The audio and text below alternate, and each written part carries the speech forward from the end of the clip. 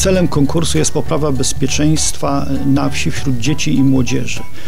W konkursie mogą uczestniczyć dzieci urodzone w latach 20 do 2,18, czyli już sześciolatkowie mogą w tym konkursie uczestniczyć.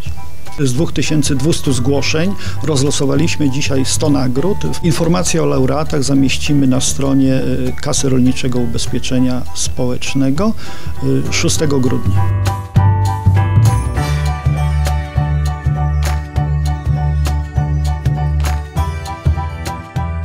Jest to y, kolejny konkurs, jeden z trzech dedykowanych dla dzieci, dla poprawy bezpieczeństwa wśród dzieci i młodzieży na terenach wiejskich.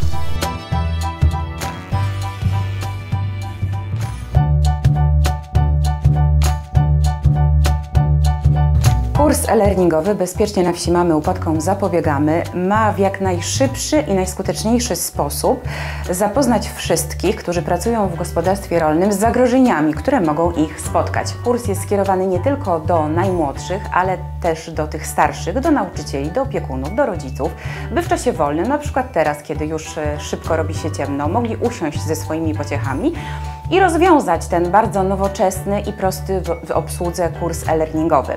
E, tam za pomocą animacji, prostych, czytelnych obrazków dzieci będą mogły dowiedzieć się, jak zachowywać się bezpiecznie w gospodarstwie rolnym, e, jak uniknąć wypadków, a przecież wszystkim wspólnie chodzi nam o to, e, by nasze pociechy czuły się podczas prac, kiedy rodzice są mocno zajęci, po prostu bezpieczne.